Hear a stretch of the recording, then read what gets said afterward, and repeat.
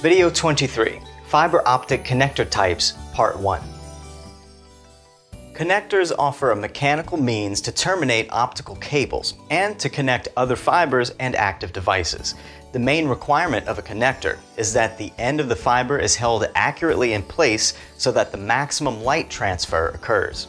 In general, fiber optic connectors are referred to as male connectors because of the protruding ferrule that is used to hold and align the fibers for future mating. With the introduction of the ceramic ferrule in the mid-80s, the alignment design became very precise and was now also able to be touched as it was robust. Initially, the ferrule design was a 2.5 millimeter ceramic cylinder, which allowed for mix and matching between connectors with the same ferrule size.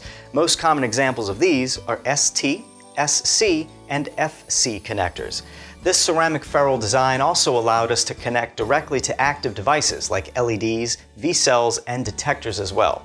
Adding in a curved ferrule end face for physical contact between connectors reduced losses to levels below of 0.3 decibel for both multimode and single-mode varieties. From very early on, colored boots were used to differentiate between multimode fiber and single-mode fiber. Beige was typically used for multimode, blue for single mode fiber, and green for angled physical contact connectors. Let's examine the most common fiber optic connectors.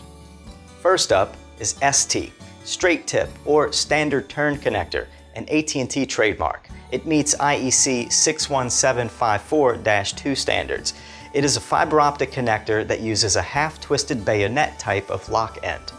Then you've got SC, standard connector, square connector, standard click, or also referred to as a subscriber connector. It meets IEC 61754-4 standards.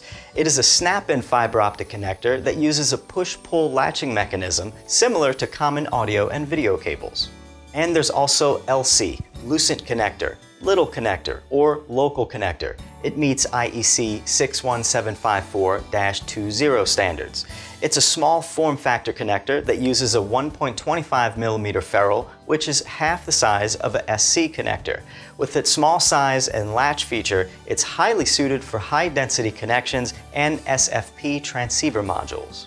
There are many other types of connectors still available in the marketplace. In our next video, we will discuss MPO and MTP connectors.